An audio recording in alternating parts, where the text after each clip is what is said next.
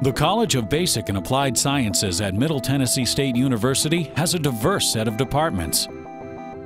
We are the largest of the university's five colleges in terms of number of declared majors, currently 5,000 students, and we pride ourselves on one word, innovation. We have unique, innovative programs. We are one of only three universities in the country offering a four-year mechatronics degree, a degree that combines computer engineering, electrical engineering, and mechanical engineering into one.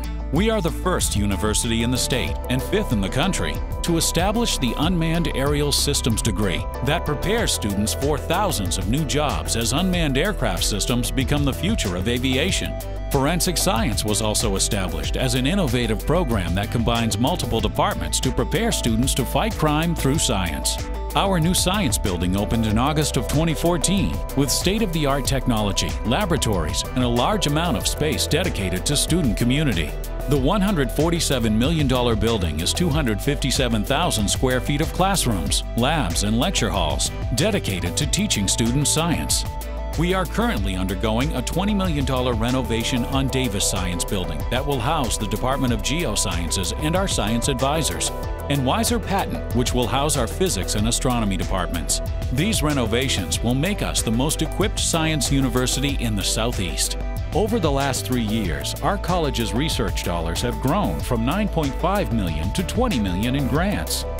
From improving patient care in emergency rooms nationwide to alternative fuel, to investigating the effects of a coal ash spill through spiders, our faculty and students are making amazing discoveries every day.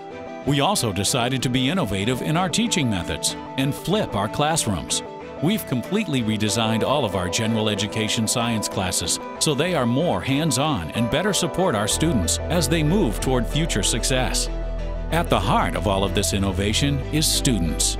We want to be on the leading edge of discovery and seek to provide our students ways to be the most innovative learners in the country.